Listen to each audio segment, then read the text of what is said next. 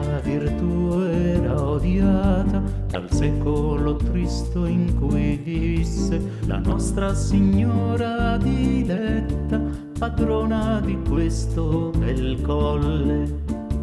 Ma tutti sappiamo che dentro la debole forza dell'uomo si innesta la grazia divina, custode di dolci fervori. Certo che sin da bambina la mite innocenza aspettava di dire al crudele sovrano Gesù sia con te Diocleziano.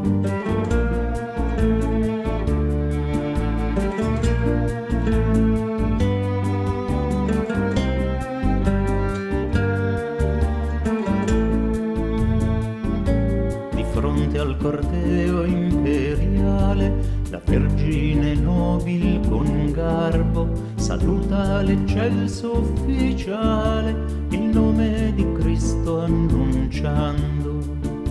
Lo sguardo stupito di lui si fece più cupo che mai pensando che quella fanciulla lo stava incantando con storie di un Dio fatto uomo per noi, dotato di amore infinito, è morto per i nostri peccati, non voglio sentire menzogne.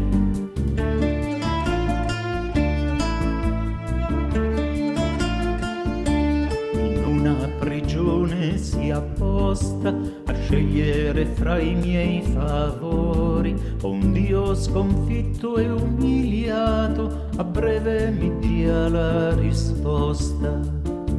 Toccò la medesima sorte a tanti cristiani innocenti, seguendo l'esempio di questi, innocenza si fece più forte. Nel buio dell'ultima alba, le guardie guidate dal capo salirono l'erta collina, accolte in totale silenzio.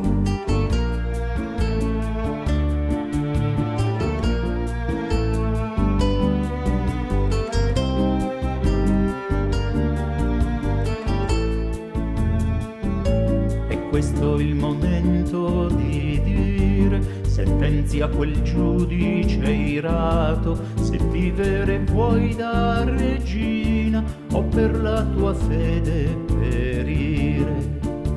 Lo sente soltanto il prefetto, quel nome sublime e perfetto. Gesù lo sai bene che t'amo, mia forza, mio tutto te solo.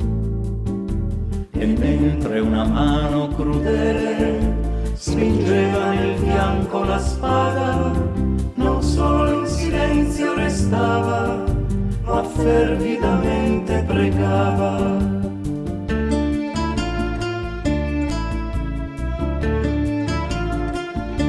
Pregava e pregava innocenza e intorno il silenzio regnava. Mio Dio che la serva tu ascolti, perdona il loro peccato.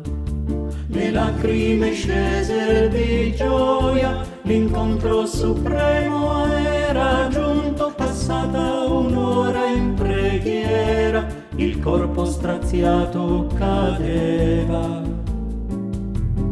moriva la terra semente che ancora feconda le zolle, la nostra Signora Innocenza, padrona di questo bel colle.